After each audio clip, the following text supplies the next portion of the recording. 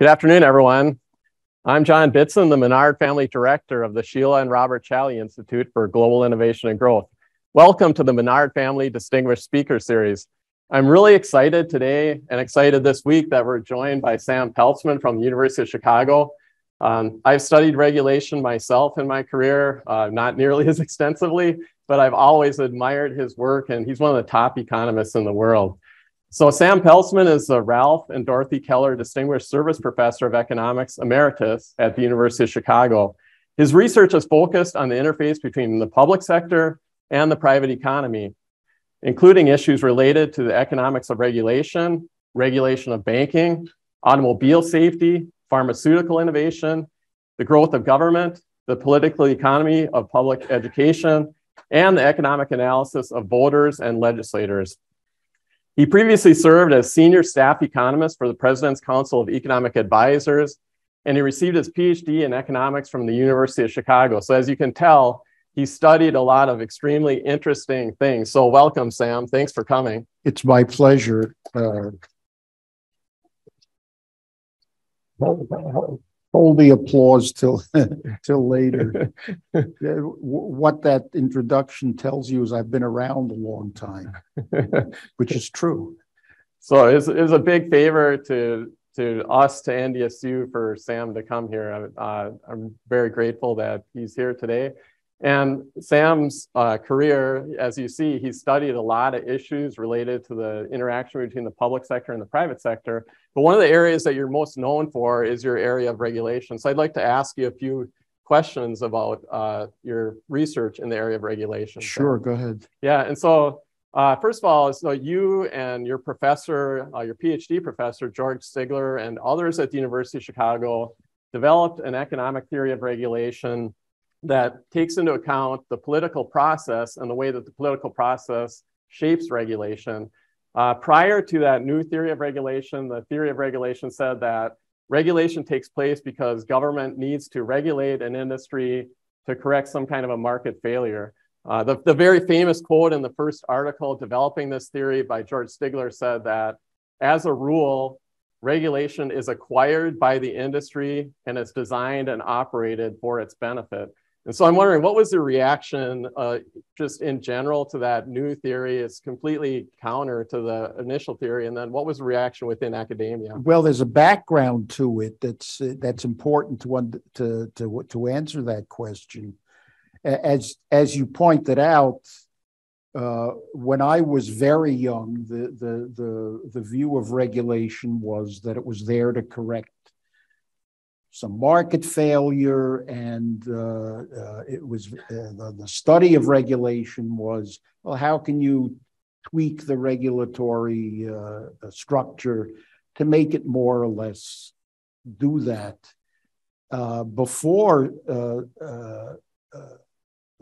Stigler wrote that piece with the famous quote, there was a there was a whole 10 year period in which and he was a big innovator in that period as well of actually examining what it is that happened when you got a regulatory agency set up to ostensibly correct some uh, market failure. And it was uh, it was uh, when you actually looked at what happened, it wasn't always. In fact, it was very frequently not what the textbook view of regulation uh, was. Uh, Stigler was a character who liked to state things in its most outrageously exaggerated uh, position. So he wrote the article, it's now 51 years old, uh, which had as its punchline you know what? Regulation isn't some device that helps you and me necessarily. It's acquired by the industry that it's that supposedly is is needs its market failure corrected. It's acquired by them for their benefit.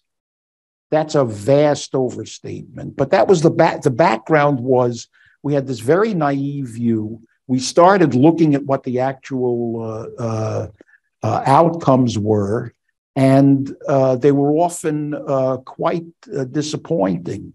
And, and uh, uh, his his statement of the theory was so extreme that uh, it everybody's eyes lit up. They didn't necessarily disagree or agree. It wasn't that that he was a a, a loner out in the wilderness. The time that this appeared was also conducive to this kind of uh, uh, skepticism.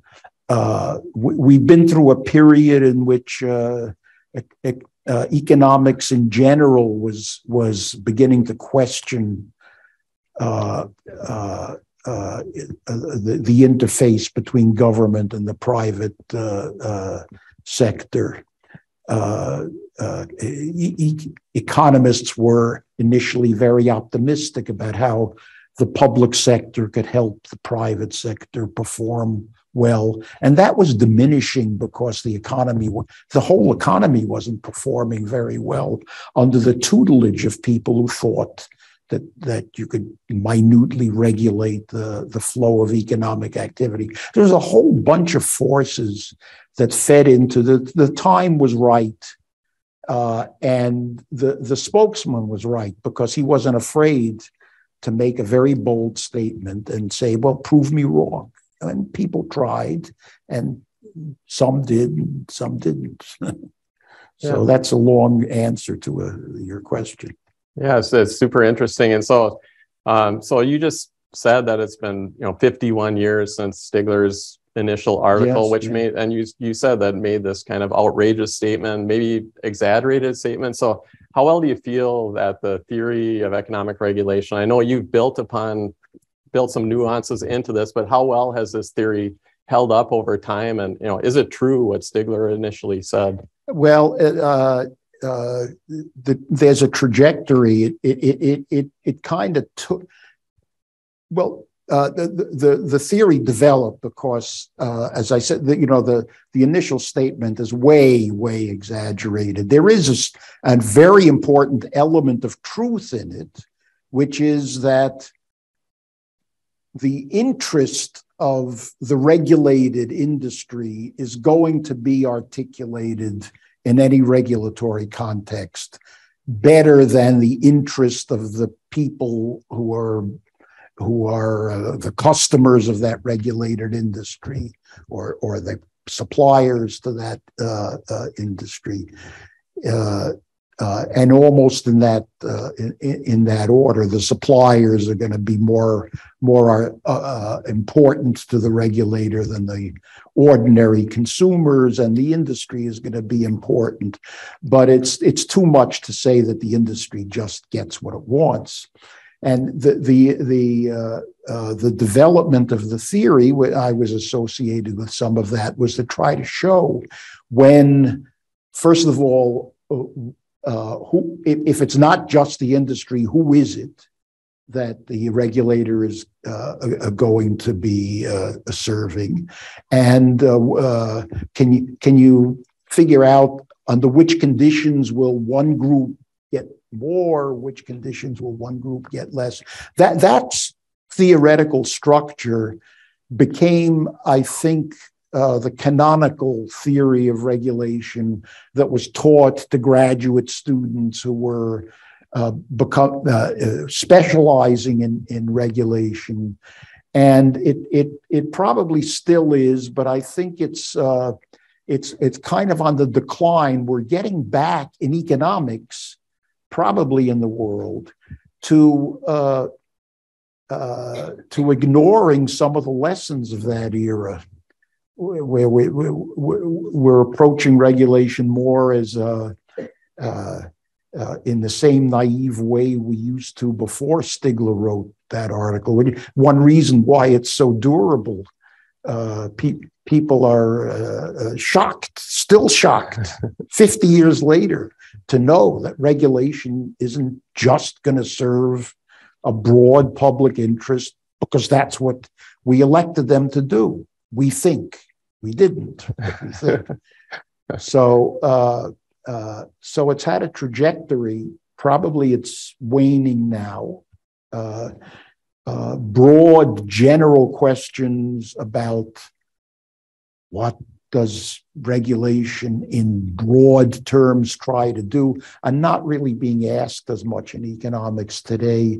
It's more a case by case kind of uh, uh, uh, case by case kind of study and it suffers from a lot of selection. You know if you're if if you're of a mind to ignore all of the reasons why regulation can't or won't serve a broad interest if you want to ignore them you pick a you pick a problem where it's likely that you're going to find the answer that you like and and and uh, uh, uh, that accelerates the drift away from asking that kind of question. So again a long answer to a, so an important question with a lot of nuances. So a super brief uh, follow-up on that. So do you see there being a shift back to to uh, graduate education putting more importance on on the general theory than you know, I, I don't see it I, I i no i don't see it coming. I think it's it's going the other way and i don't see what's going to turn it okay yeah interesting so an, another really important insight of yours and well known in economics but maybe not known as much outside of economics is that regulation often induces behavior that offsets the intent of the regulation. Mm-hmm. And so you have a very famous study where you showed that requiring safety equipment to be put in automobiles did not increase automobile safety. Um, you also have highlighted how the Americans with Disabilities Act results in less disabled people being hired uh, how the that's they, not me. That's that's uh, that's the follow right. But I've seen you discuss that, and then and yes. then how the Endangered Species Act has the potential to increase deforestation and increase yes. uh, suburban yeah. sprawl. So why do these kinds of things happen? Can you explain that a little? Yes. Bit? Yeah. Uh, they're all examples of the first. So so the the uh, uh, uh, the, the, basic idea is very simple. It's econ. It's what you study in econ one. If you make something less costly, people will tend to do more of it. So the the, the safety regulation of that era, uh, to to a large extent, still today, what it does is it makes the consequences of uh, uh, getting into an accident, doing things that have accident risk, it, it makes it makes it less costly. So you'll do more of it. So what ha- what I found, I mean, we're talking about techniques that are 50 years old and I would be embarrassed to use today. But what I found was that uh, the uh, uh, a decade of requiring seat seatbelts to be installed and and uh, pop out windshields and collapsible steering, all this stuff, which reduces the consequences of getting into an accident, led to more accidents and more uh, uh, uh, deaths uh, due to the accidents outside the car. You, you were buckled up and you survived, but the pedestrian who was crossing and you weren't so motivated to pay attention, they got they got uh, they got hurt. Uh, so that was very, you can imagine, quite controversial. But it did. Wh- wh- why we're here today, still talking about it, is not because of that particular result. It, because it, it it led people to look at for the to see if the general point had some merit. If you reduce some kind of risk, you're making it more likely that people will take that risk. And that's the example of the American Disabilities Act, which wasn't my work, or the Endangered Species Act. There's a lot of other uh, applications which uh, uh are stunning in their variety to me. I, uh, I, I, should have uh, set up a website when when you could with examples of this kind of thing. But I didn't. I'm not that ambitious to to, to do things like that. But it, it's had a, an enormous range of applications. I mean, even to my, my uh, uh, uh, John mentioned that I uh, studied financial regulations. A very good example of the same principle. The government tries to make the financial system less risky So it induces the banks to take more risk because the customers are going to be covered and they don't care. They don't withdraw their deposits like they used to in the old days if you take excessive risk. Uh, and you get a financial crisis every 20 years or so. So, so, so it's got it's it's it's the fact that the idea, which is basic economics, nothing more, has so many applications that I think accounts for its in, endurance. So, do you think that? So, how much do you think regulatory agencies think about that simple principle when they're you know when they're well i know i know about automobiles because i was involved in the pushback and in the back and forth they go through a, a process. Uh, it, it, it's like when a good friend dies. First, there's denial, or when you, you're told that you're going to die, you deny it, and the, then you slowly accept it, and then maybe you do something about it. So that's that's what's kind of happened uh, with with offsetting behavior, which is the whole topic we're we're talking about the the the the first instinct is to deny it, and they still do. Uh, they'll show you, well, look, look, the, the the, the death rate is going down, and and uh, uh, that's because we have seatbelts. They didn't. They didn't tell you it was going down a lot before. You know, uh, so you have that, uh, uh, and then you have some recognition in that area, more recognition in other areas. So right now you have a very good example of this big debate in the community.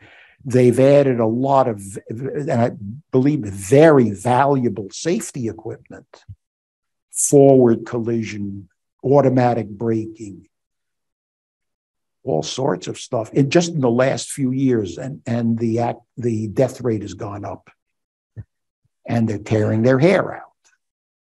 Uh, and then some people are telling them, well, you should have expected it. And you know why. Uh, people are doing that. They're, they're driving, you know, they're, they're taking less care.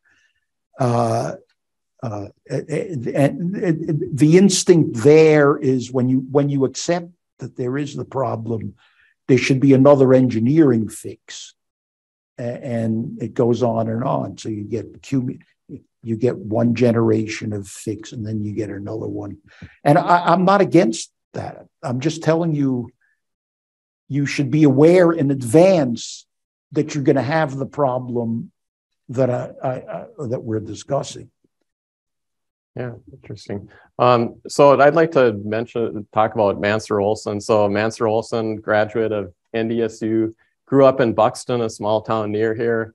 Uh, has known was known as a very interdisciplinary uh, thinker, thinking about big issues. Uh, he was also an inspiration for the formation of the Challey Institute. So I'm wondering, could you talk a little bit about the influence of Mancur Olson's work on on your work? Uh, Mancur was a uh, he died too young. He was a great influence on on uh, me, and you should all be proud to be going to a school that he he uh, went to. He he delivered a, a, key ingredient in the development of the line of theory that, let's say, starts with Stigler and then continues. I, I had a part in, other people had a, a part in, to explain why it is that broad groups like all of us consumers are not going to be an important constituency for the regulatory agency.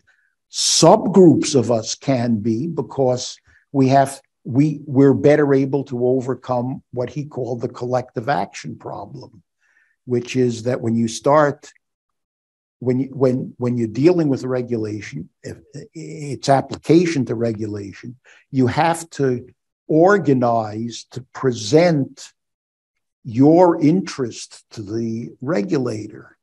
And look,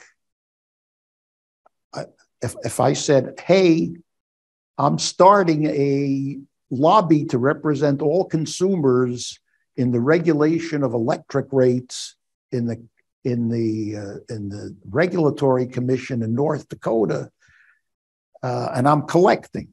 You wouldn't, you know, you would you you would either say he's a fool, or if he succeeds, why should I pay? I'll just get the benefit of the uh, of the uh, of the of the lobbying without paying, and it will collapse. That was the insight that had, and it's a key ingredient in understanding why it is that necessarily, if you set up a regulatory agency, the pressures on it, the information that it receives, all of it, even the uh, we talk about the revolving door, the employment opportunities that the regulators are going to have when they decide to move on in life.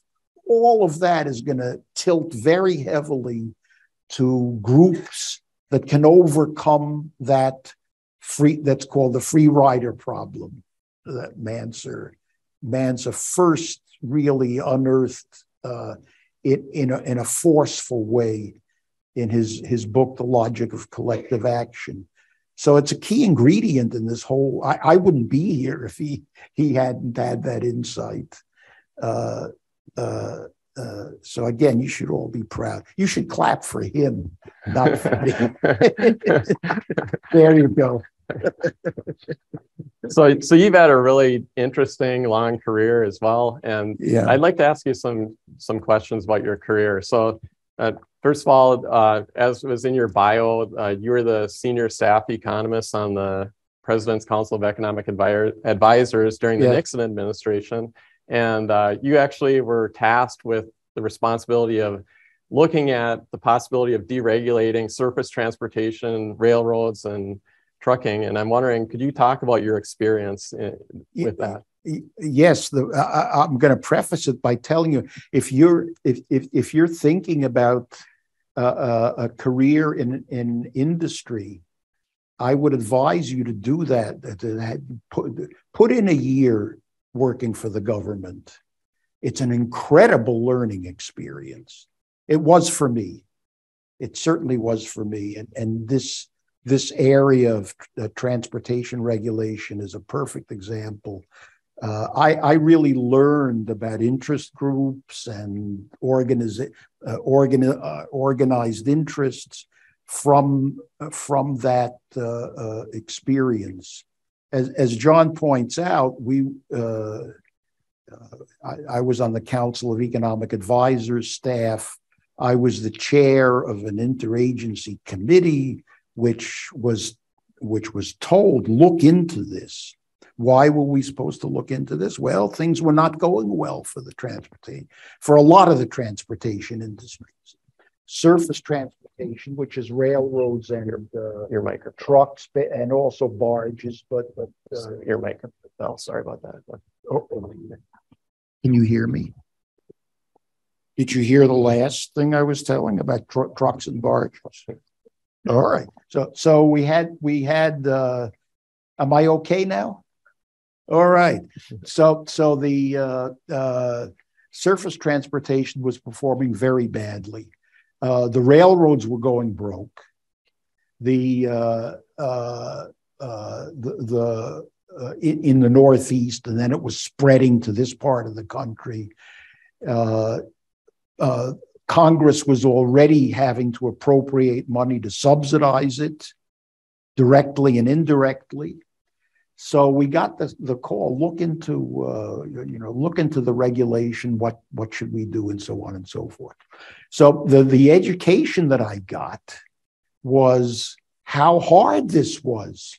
I mean, here was an industry where it was clear to most economists who had looked at it, eh, without much exception, that uh, the railroads, which were the, the key to this, uh, uh, were overbuilt. They had to be shrunk down. They had to specialize in what they were good at, which was getting stuff over a long distance. It was very clear what, what direction we needed to head.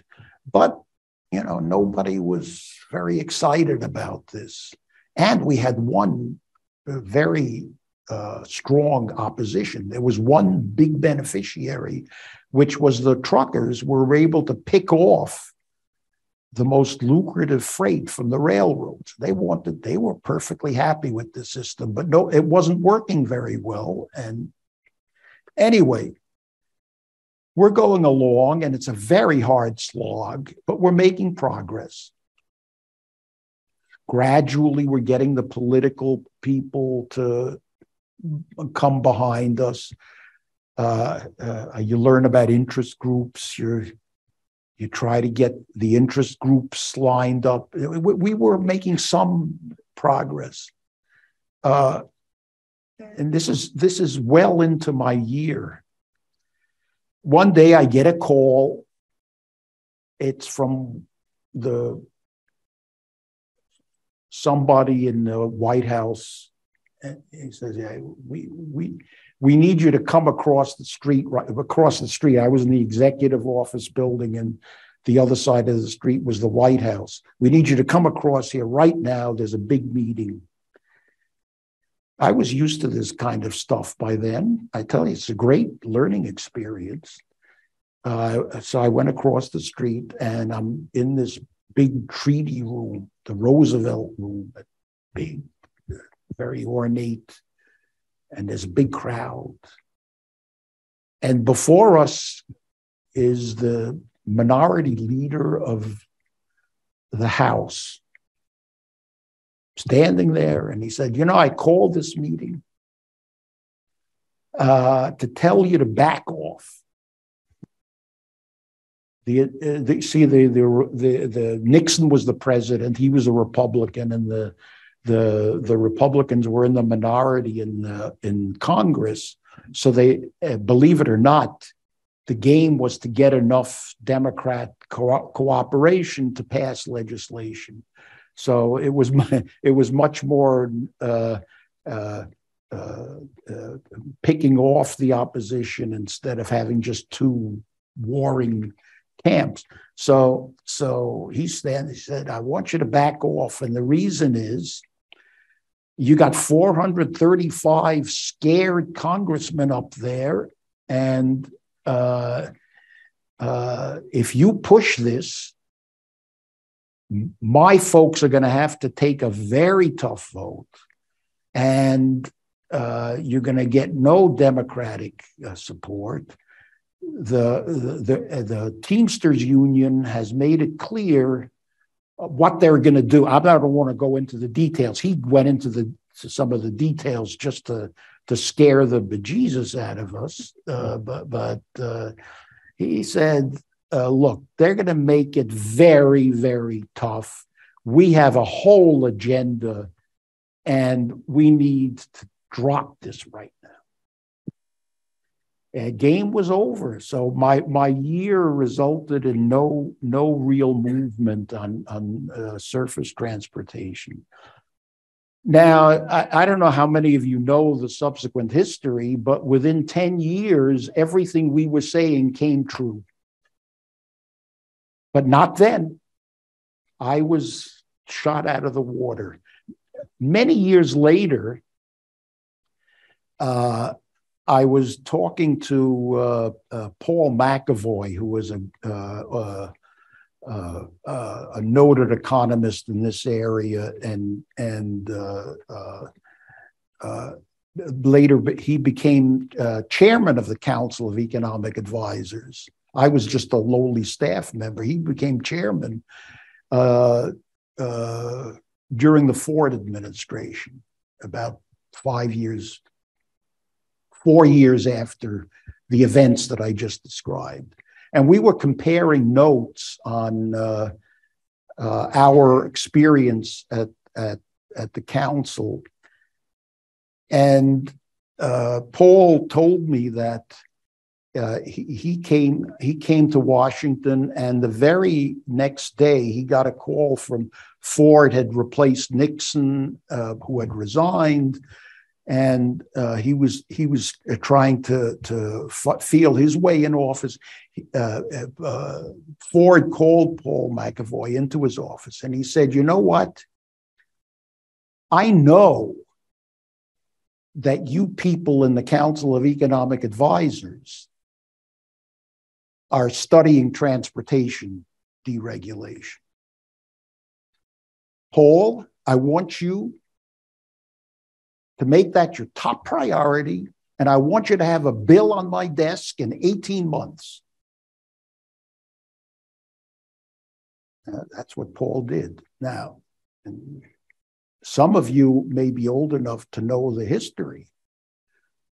Gerald Ford was exactly the minority leader of the Republican Party delegation in Congress who told me in so many words, kill it. So that's you. You learn a lot uh, playing the Washington game. Let me tell you, some of some of my colleagues learn so much they stay there forever. I, I was glad to be out of it, but it's a it's a it's a good tale to the, see. It's the same guy, Ford, but here it is five years later, it's a completely different set of circumstances. The railroad industry is going down the tubes even more, and they're paying billions now to cover the losses. And it's uh, a, a time of accelerating inflation. He wants he wants a he wants to show he's doing something to to lower prices in one sector. So he's he's president, he's not majority leader. It's the same man, 180 degree different uh, attitude toward regulation. So uh, people say uh, ideology counts for a lot, and it does, but it's it can be quite flexible. Yeah, that's that's a great story. um, so uh, you every year you're named as one of the favorites for the Nobel Prize based on your pioneering work in in regulation. And uh, you, I also just I pointed this out to you uh, last night or night before that I saw an article recently and they were mapping the connections between Nobel Prize winners and people that haven't won the Nobel Prize yet. And you're the number one connected person to people that have won the Nobel Prize. And so I'm wondering, do you think, uh, I mean, do you oftentimes think about like, what would it be like? Uh, do you anticipate the call from the Nobel Committee every year? So what, what are your thoughts on, uh, on winning a Nobel Prize? The answer to the last question is no, I do not. But, but l- l- let me say, I would be very flattered to get the, the Nobel Prize. I'm, I don't want to, with that flip answer, I don't want to say anything uh, different. Uh, I, I, I, do know a lot of the folks who got the Nobel Prize. Uh, probably I've lasted a long time, so I, I get to know them. But uh, um, but I think my life will go on pretty much the same either way, whether it happens or it doesn't happen. I'm not indifferent. I don't want to say that, but I've known people who are obsessed by it like they wait they they wait up and you know the, the they make their decision in Europe and and it's the, the day is uh, uh, uh, uh, not started yet here. So they wait up all night to get the that's I'm not going to do that. Uh, it, it, I'm not saying it doesn't matter that much but uh, you know, I have a life to live and I'm not going to give it away to worrying about whether I get a Nobel Nobel Prize or or not. Uh, certainly, I'm not going to go down the route of uh, this poor man who who who uh, just a few years ago didn't get it and committed suicide. I mean, that's that's absurd. That's mm-hmm. tragic. Uh, at least I think so. Mm-hmm. So uh, if it happens, I'll be, it's okay. If it doesn't, that's, there've been, you, you talk about uh, uh, people who didn't get it and should have. Mancur Olson did not get the Nobel. should have. A lot of people, a lot of people other than me who should have and didn't. And I, I I'm humbled by that thought. Oh, that's that's a great attitude, but I hope you get it. Uh, yeah. Um, so Thanks, but I'm not going to wait up.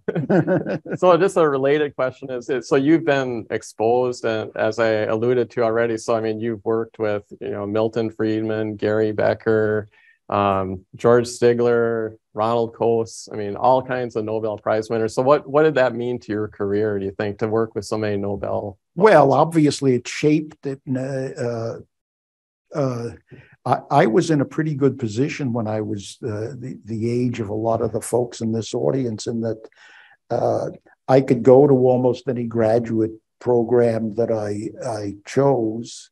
The, the, that was partly me. It was also partly that the money was flowing. The government was worried about uh, building up academia uh, the money was flowing. You could you could you you could get financial aid anywhere, and I chose Chicago, and that put me in contact with these uh, uh, people. Every one of them had a uh, uh, defining kind of influence on my uh, life. It would take it would take really too long to go case by case by case but uh, uh, uh, I, I can't even say that one had a dominating influence. You would think it would be Stigler because I followed in his, uh, I, I, modified his regulation theory and it, it, it, it became more the uh, the, the,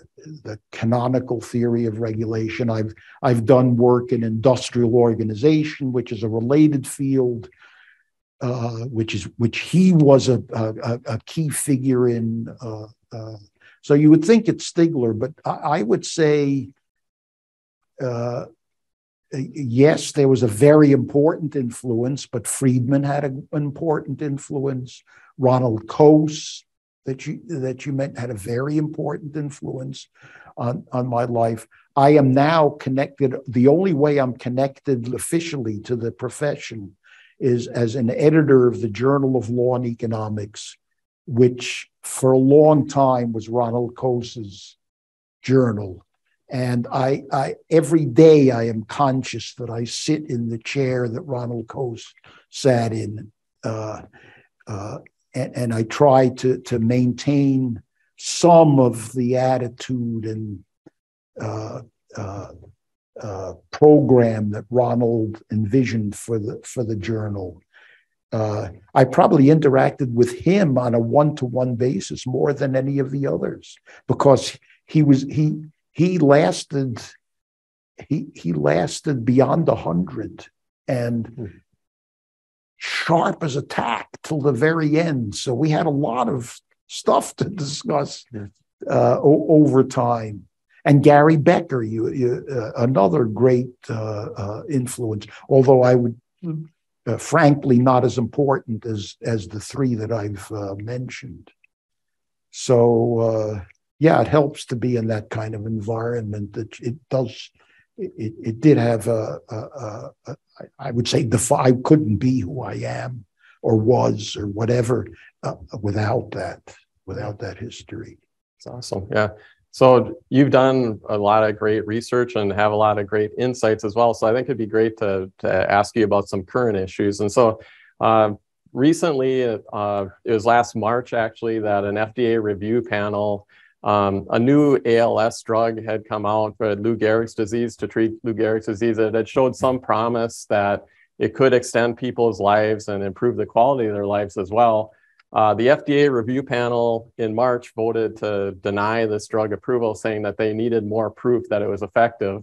Um, and then in June, it was actually approved in Canada. And, and so then uh, a week ago, this uh, FDA review a panel actually reversed uh, their decision and said they do want it to be approved now. But then we could also look a year ago. Um, I don't know if people remember there was an Alzheimer's drug that was approved and it has received heavy criticism. The FDA has received heavy criticism for approving it based, the critics say that it hasn't been proven to be effective. And so you've done some work uh, about the efficacy requirement that FDA has about yeah. drug approval, and I'm just wondering what your thoughts on this. Okay, so I, I, I, I you're right. I've been uh, uh, I've been involved in this. That study was 50 years ago, so I've been involved in some way uh, for 50 years, and it was uh, uh, it's it's one that I'm more proud of than the average. It was the first cost benefit analysis of uh, regulation. Uh, and I've been a critic of FDA regulation for all of that period. So we, we have to, how much time do we have? Ah, we have we have time. Okay. So I got to explain what it is. He said, uh, John said the efficacy requirement. So there's a history here. You got to you got you have to understand what modern drug regulation is all about. Uh, in 1962, and I'm not going to go into the previous history which led to this, which is also interesting and has iron, ironic twist. In 1962, Congress decided that the Food and Drug Administration needed to certify that a drug was A, safe, and B, efficacious before C, it could get sold on the ordinary medical market, which is basically selling to doctors and today to insurance companies. Okay, so up to that time, A was on the books. B was added and needed to be defined. What does efficacious? It, well, it was defined to mean that you have to come, you are the drug uh, researcher, manufacturer, prospective seller. You have to come to the FDA and you have to tell the FDA what you're going to claim. So you're going to claim a cure or a mitigation of ALS, as in this example. Okay. Then you have to sit down with the FDA and you have to map out a testing regimen that will start with A and then get to B. That is, you have to show it's safe, and then you're, you're allowed to test for efficacy. And that, that means that you uh, typically what you do is you, all of this is back and forth in negotiation with the regulator. You, you, you set up a random control trial where there's a treatment group, there's a control group. Okay. In this case, the control group might be ALS patients who are not going to get this drug. They're going to get whatever the you do for ALS patients without this drug. Then you get this treatment group, and then you give them the drug, and at the end of the random controlled trial, which is specified in the regulatory document that you're negotiating with the FDA, uh, you have an outcome. And uh, let's say that the uh, treatment group did better, but the risk you, uh, uh, if you've taken an elementary course in statistics, you know what I'm talking about. The risk of making an error of saying it did better when it really didn't is 6%. You can't market it because the, the, the, the, uh, the, the protocol usually says we read a statistics textbook and they use 5%. That's the rule forever since uh, Ronald Fisher started uh, uh, this branch of statistics. You promised 5%, you came up with six. No, you're, you can't sell it. So that's the, that's the, the regime. You have to pass, it's called stage three, which is the efficacy test. All right. Now, if you think about it, that has a benefit. It keeps some drugs which really don't work off the market by any stretch of the imagination. But then you have to ask why would the seller have gone through all the trouble of uh, spending the money on the uh, stage three trial if they really feared that that would be the outcome. So that's not going to be a common uh, a, problem. You'll also catch risks that you can catch in a in a trial. Uh, uh, uh, safety risks that you you you didn't know about before, but they turn up later. You can you'll catch a few of those, and that's the benefit. The cost is the opportunity. You, you have an enormously expensive process, which costs resources, but the biggest cost is the opportunity cost. That is to say, it takes time to do all of this we know what the time is from application to a, approval or rejection. That's uh, in itself a year and a half. So we have an application, which means the seller thinks they got something. and, and they think they have willing customers and they like to get approval. And then it takes a year and a half and this is after the stage three trial is finished, and the Food and Drug Administration evaluates the results. And it goes to a, an advisory panel. There's a whole process of back and forth with the data. And uh, then they approve or disapprove. So that's that is the biggest cost. The incentives are at this point very heavily in favor of that drug having at least some beneficial effect, often a very beneficial, life saving effect. And in effect, that can that benefit can't be uh, had for a year and a half minimum while they uh, evaluate uh, the data. And empirically, that opportunity cost overwhelms everything. So you've had, for example, great advances in uh, uh, uh, heart disease. Uh, a lot of them are, are pharmaceutical advances. Heart disease kills hundreds of thousands of people, even today, every single year.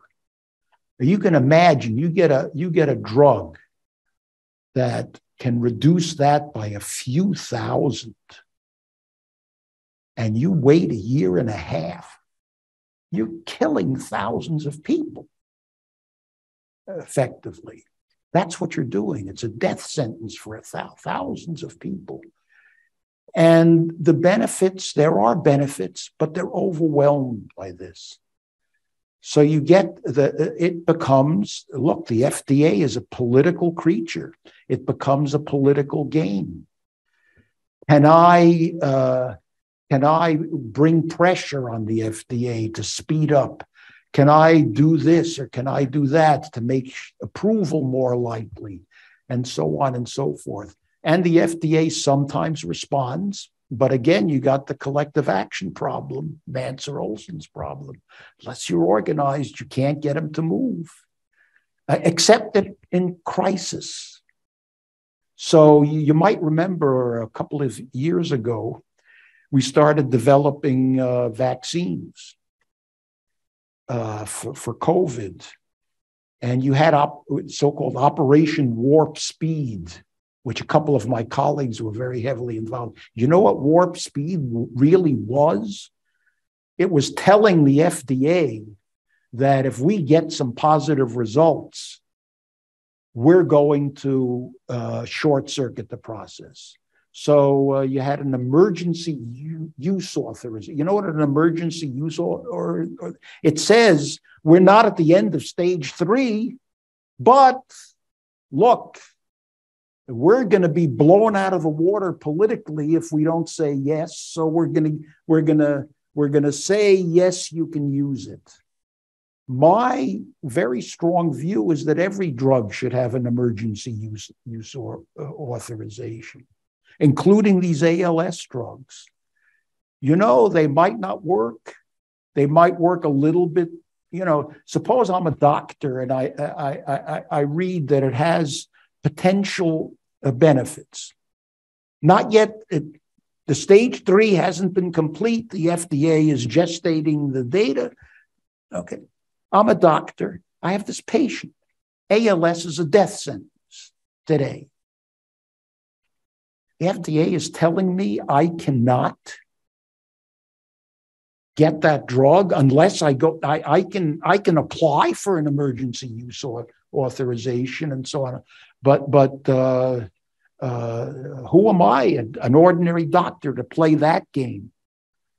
Uh, the drug company would have to do it, and the drug company is going to have to deal with the FDA many times in the future.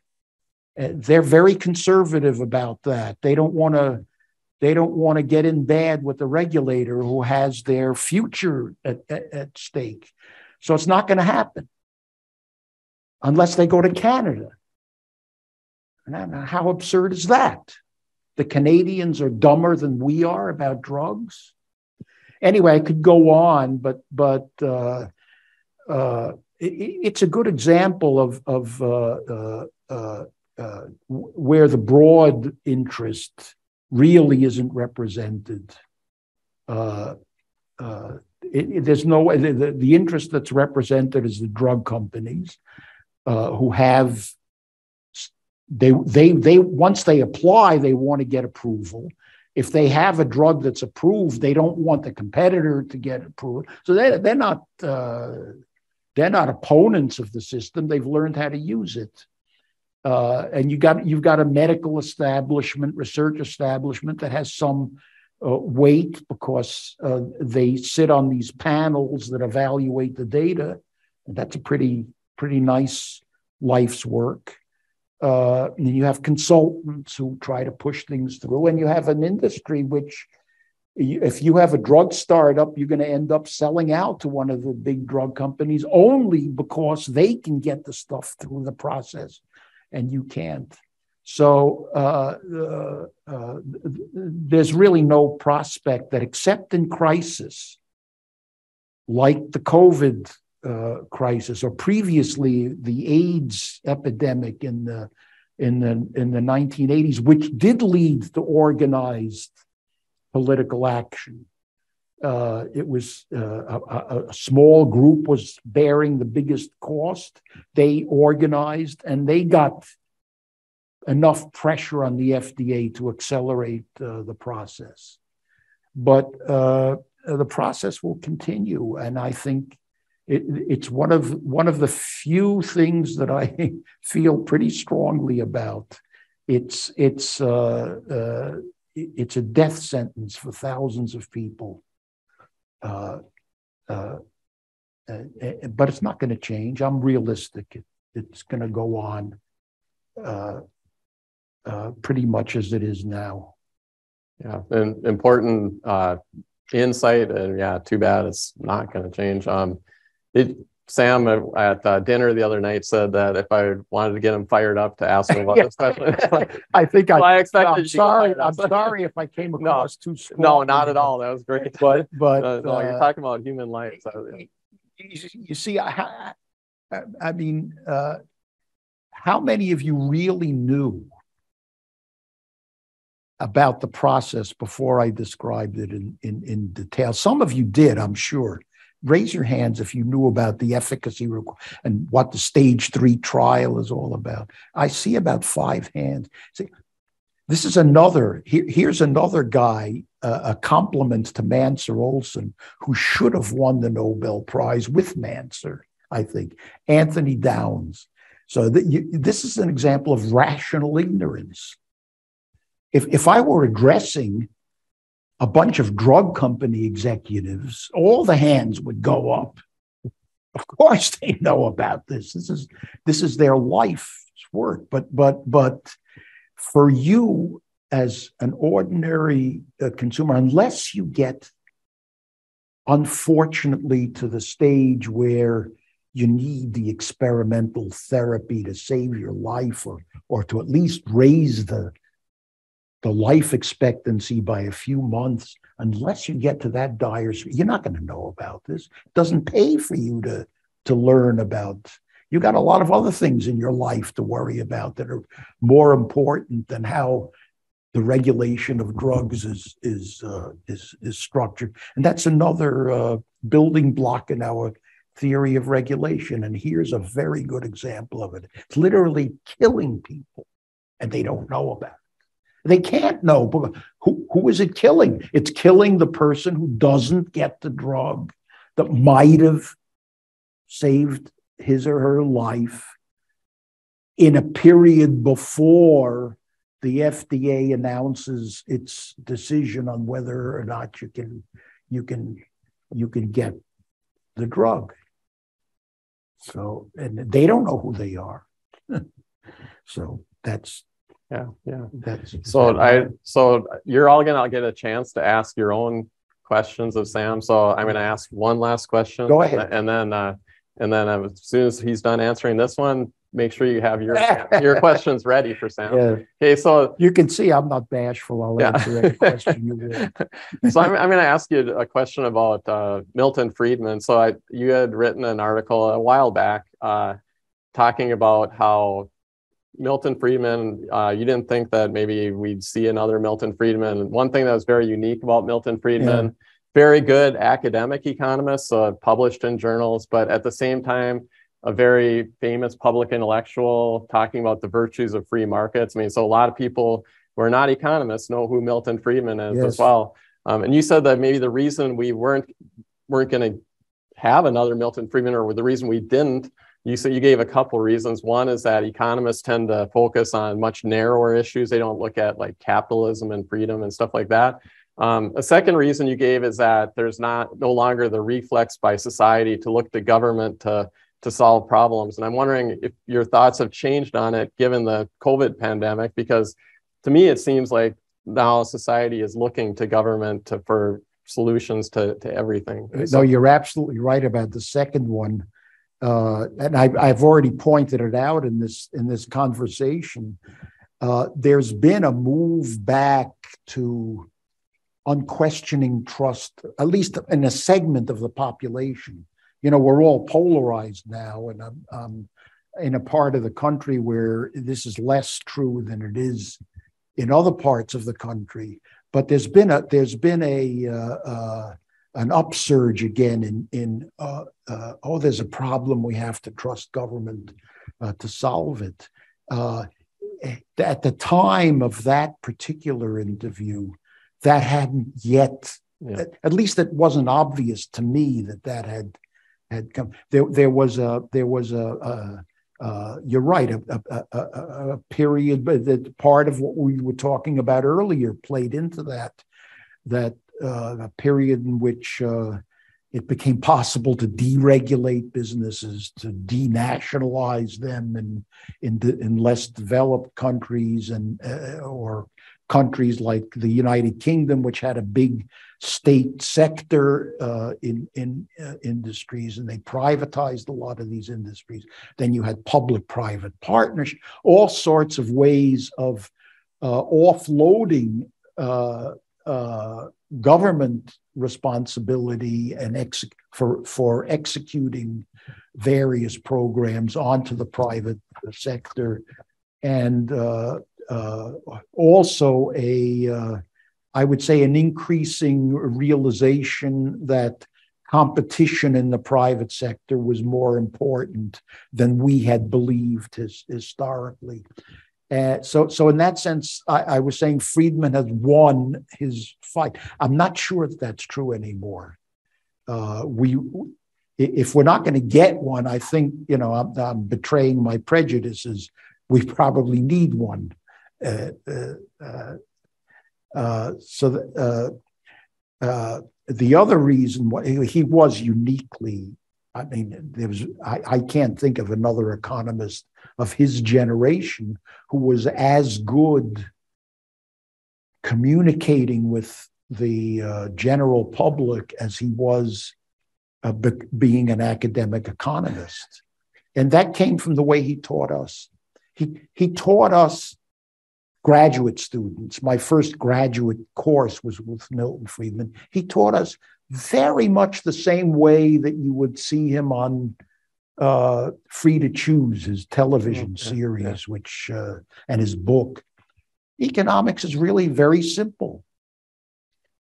Uh, there are a few basic forces, and what you what you do as an economist is you see, you ask always which basic economic story is involved in this in this phenomenon, and you go and you look and you see if it works. Mention the seat belts and the, the, the that that's really what it was. It, it, was things cost less, you do more of them. That's not, wasn't any more complicated than that. And uh, uh, economics as a discipline has gotten a, far, far away from that kind of uh, view, uh, maybe for the better. I don't know, maybe not for the better, but uh, that's another reason we're yeah. not going to have. Do we need another one to do that again? I, I, don't, I'm not, I'm less sure about that than I am about we need somebody to teach us old lessons uh, uh, again that we're forgetting. Yeah, yeah, excellent point. So if you're, if anyone is interested, you just go to free to choose TV actually on the internet, and you can right, see all the old series. It, it's really interesting. And oh feel, yeah, yeah. you'll see a lot of. Just remember, what you see there is what I got 60 years ago as a graduate student. It, it's really cool. Yeah. yeah. So, questions from the audience, please raise your hand, and then we have microphone runners that will bring you. Um, I'm not sure everybody can hear me. Turn up the mic. uh, my past experience, it'll cost at least a billion dollars or more to bring a new drug to market from discovery, et cetera. Yes. And so it's a matter of when there's not a lot of opportunity for trial and error because you can't error too often. But yet in Europe, they tend to do the process much more quickly. Yeah.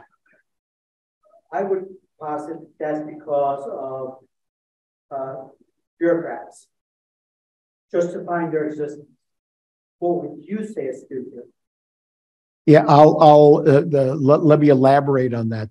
It used to be true that other countries did it faster than us. It's not so true anymore.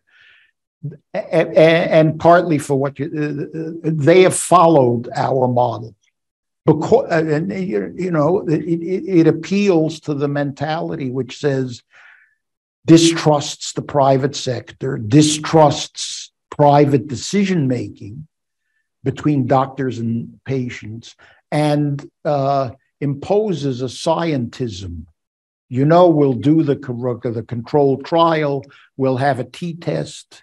If t exceeds the magic figure then you can sell it. If it falls below we, the bureaucracy, will make all these decisions for you, the consumer who doesn't know enough. That model is now in the developed world, especially with the European Union. Uh, there's a there's a common set of uh, the European Union decides on this for all of Europe. You don't have competition between the French and the Germans, except you know public necessity, like COVID, they could deviate. But in the ordinary case, no. The European Union decides for the whole European Union, and it's just as bad there as it is here. The figure you mentioned, a billion, is now an underestimate. Your mic fell again. I'm sorry. My mic is falling. Yeah. Uh, the figure you mentioned of a billion is now uh, an underestimate. It's more than a billion. Uh, I, I mentioned the year and a half that it takes from phase three to, to decision. That's just the tip of the iceberg. It's 10 years total from uh, initiation of the process to the stage three uh, end point. Uh, and I wasn't even counting that because that's all heavily regulated you have to you have to do you have you you you file what's called a new drug application at year minus 10 Then you negotiate stage one and stage two, which are the safety stages. Okay. Then you proceed to propose, if, if you pass stage one and stage two, uh, you can propose stage three. Then you have to implement stage three. And most of the billion, uh, whatever the cost is, it's now more like 2 billion in 10 years. Most of the cost is in stage three. It's in recruiting patients for the con- randomized control trial, uh, uh, uh lobbying the FDA to to to let the trial go on when somebody in the FDA wants to stop it, which they can do overnight. Uh, so uh, yeah, the opportunity cost is much bigger than I let on, but it, it's enough to make my point. And uh, unfortunately, you're behind on that. It used to be the case that we could talk about a significant what was called the drug lag not only the Canadians, but the British and the French and the Germans were getting stuff on the market earlier. It's it's now sometimes it is earlier, sometimes it's even later, and and and it, it, it it's it's it's more than it used to be in the past. It takes more time all over the world. Thank you. You're welcome.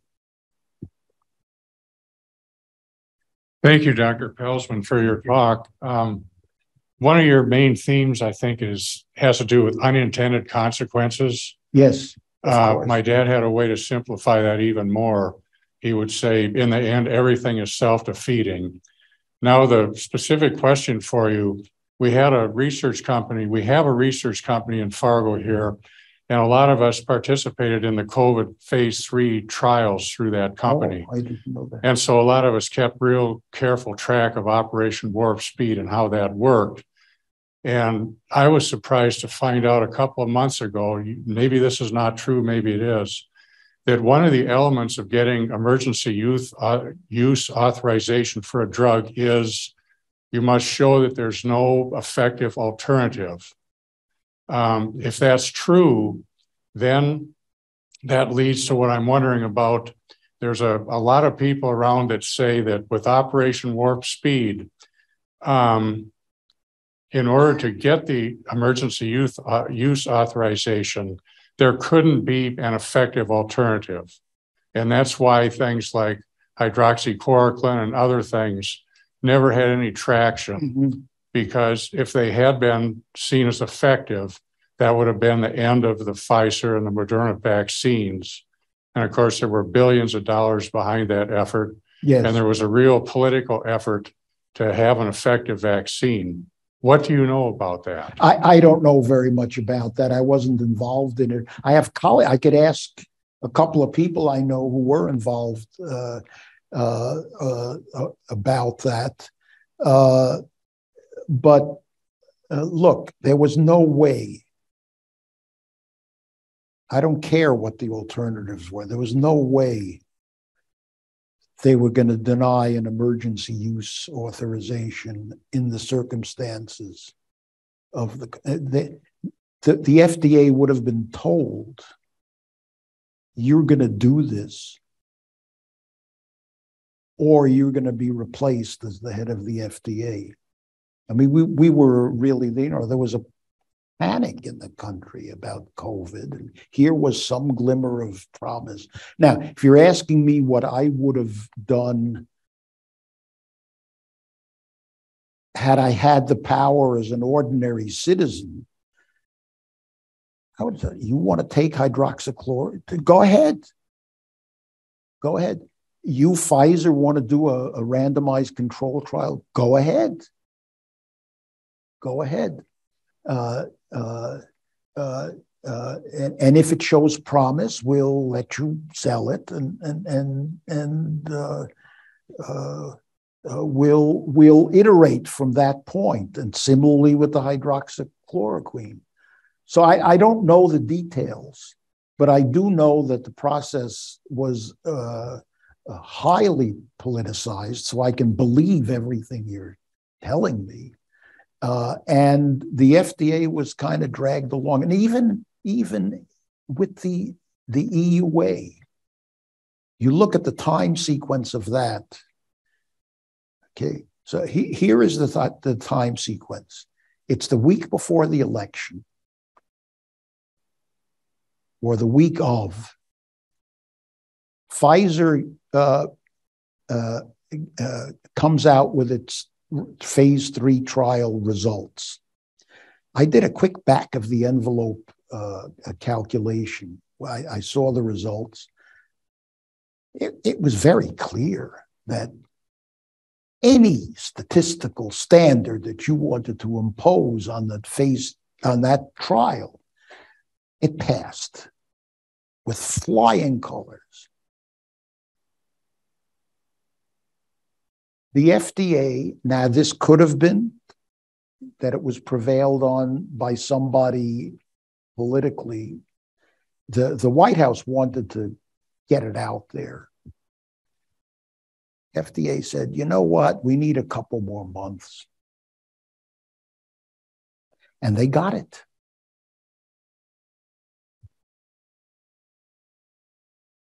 A death sentence for thousands of people.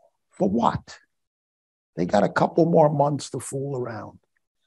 Now, it, it, it coincidentally or not, it was the time of the election, and you know, I don't want to get into the possibilities. Uh, I, I, don't know, but uh, it just illustrates. Uh, it certainly illustrates the mentality of the regulation, and uh, uh, uh, I'm glad, personally glad, it they did the emergency use authorization and you had the choice. You don't like the vaccine, I think should don't take it. But uh, I was ready.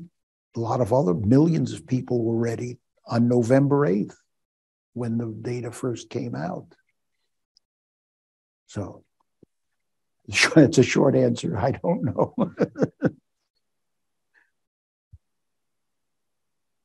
Other questions?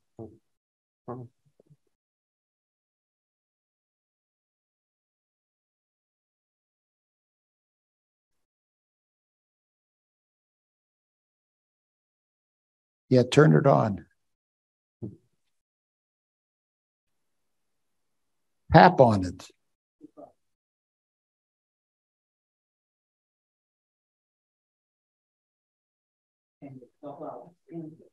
Shout. you're, you're a big, strong boy. Shout. of the Endangered Species Act? Oh, yes. Yeah. Good question. Uh, so here's the story with the Endangered Species Act. Uh, again, you need some background. What, what is the Endangered Species Act? It, uh, uh, uh the Fish and Wildlife Service determines that a certain species is endangered and it puts it on a list for protection. What, what that means is that the habitat of the endangered species is, has, has to be preserved. You can't develop it or cut, cut it down or, or, or drain it if it's a swamp or whatever. You have to preserve the habitat uh, uh, for so long as the species remains on the list. So, so the classic study is uh, again published in my journal, the Journal of Law and Economics, the red cockaded woodpecker. You know what a red cockaded woodpecker is? I you do. Good. So, so are you a, are you a forestry uh, student or something? Uh, oh, oh, okay, okay. So the red cockaded woodpecker, I learned as an editor of the Journal of Law and Economics, not as a student. It, it lives in forests in, in the south, uh, pine forests, and uh, uh, uh, it got put on this endangered species list. So you had you had uh, uh, owners of uh, uh forests who uh, uh, were affected by being put on the endangered species list. Now, if your forest was habitat for the woodpecker, you couldn't do anything. So the, the, the, the woodpecker was fine. The trouble is that it flies, right? So suppose you got this forest down the road, which is not yet habitat for the woodpecker, but might be if somebody discovers a woodpecker on your property. So what's what's your incentive?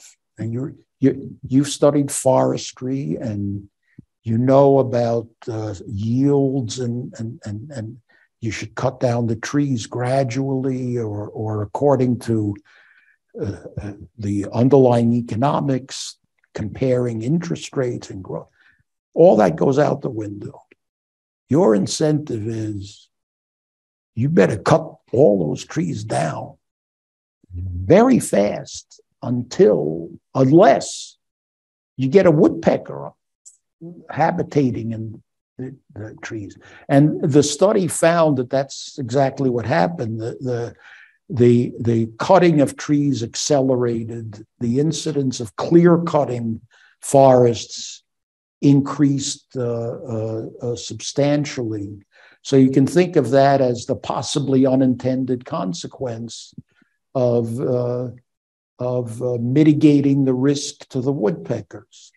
Some, somebody offset it by cutting down trees.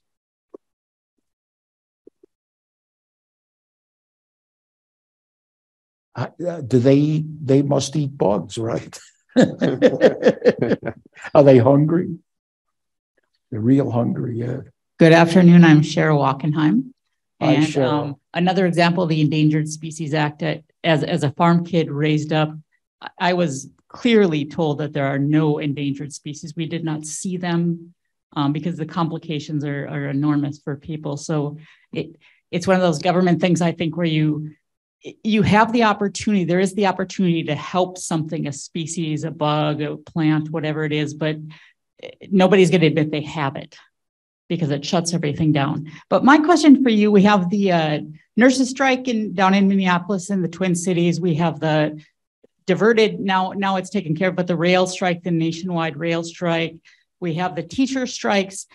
When should the government at the federal level or the state level get involved? And what kind of criteria should we use to decide when that is? Uh, uh, uh, uh, it, it's too broad a question to answer. And you want me to, if you want me to talk about teachers, Should, I'll, I'll talk about the rail strike. So the rail strike, uh, it's a COVID issue and it's an international trade issue. The rails shutting down right now would have major economic consequences across the U.S. and, and our our export markets. Should the federal government intervene or, or just let it happen? Intervene, I mean, beyond. I don't know enough about that particular case.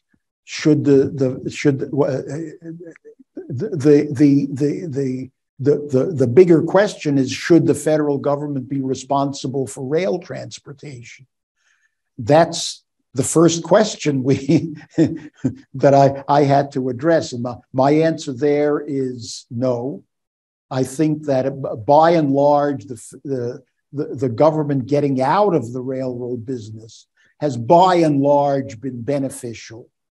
Uh, uh, uh, the funny thing is that the railroad industry, as it's structured today, is now more afraid of re-regulation than, uh, than it was afraid of deregulation when I was worrying about it. And uh, uh, uh, how that plays into the structure of unions in that industry and and uh, you know my my understanding is that there's there was like 10 unions were involved and eight or nine of them had said yes but two of them said no and they were willing to go to the brink. I i can't i i, I and i can't answer in the short run should we not have a strike for a few days there's a provision in the law which says the federal government can cool things off for 30 days. That's too much detail, I think, for us to go into today. But I think if we take signals like that teacher strikes or rail strikes as, as, a, as a signal to get the government further involved, I think it's a mistake. I, I think the way one handles and it's moving in that direction actually, is to have more competition than less. Uh, and, and that means a reduced, not, not a zero, not a, not a completely government pullback from education, but but a reduced uh, uh, a role. Uh, uh and, and, I think that's happening. The COVID experience has led to a, a, a, a massive change that, that we're only beginning to understand. And it's it's kind of reflected in these this teacher unrest. There's a lot of parent unrest too uh, that that's feeding into this. So that's an area where perversely I'm a little bit optimistic. And with the railroads, you know, uh, in the short run, it might feel good to stop them from working things out, but uh, in the long run, have, having the government reduce its uh, role in the railroads has been a big plus for for for us, and it's it's been it's been copied a little bit outside of the US. And I think uh, they probably envy our railroad situation uh, on balance.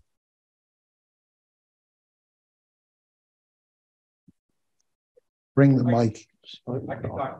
Yeah, but talk to them. Oh. Talk to them and. My question would be, and, with. Or talk to me and I'll tell them what the oh, question is with the regulations and all these guys that are, are, are putting it in, we're printing like trillions of dollars, which is regulated by the Fed, I'm assuming. Yes. Yeah. How are we ever going to survive printing trillions of dollars or ever be able to pay it back?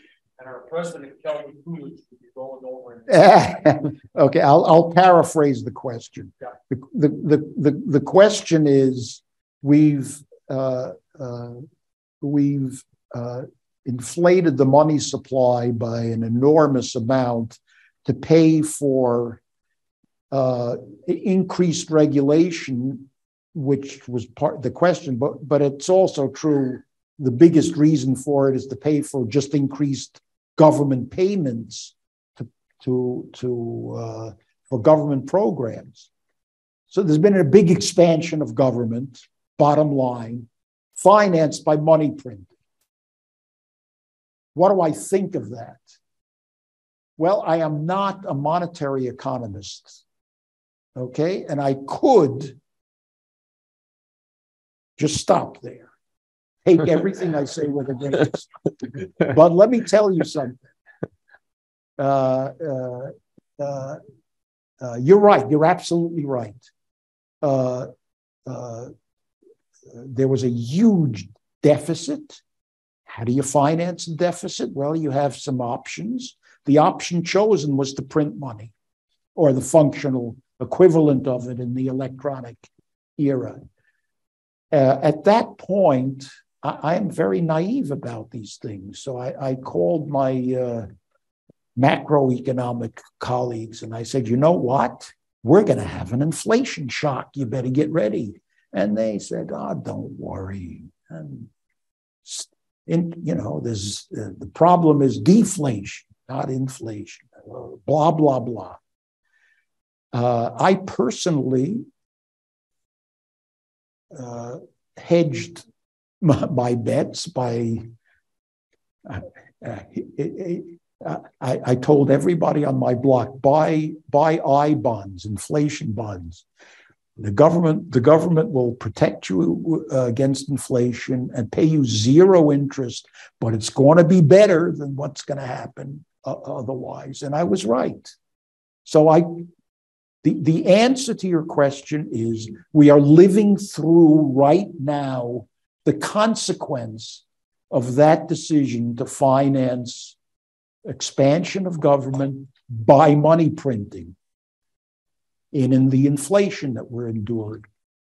the, uh, the, the, the, the, the other side of it is the Federal Reserve, which you're also absolutely right, is entirely responsible for that.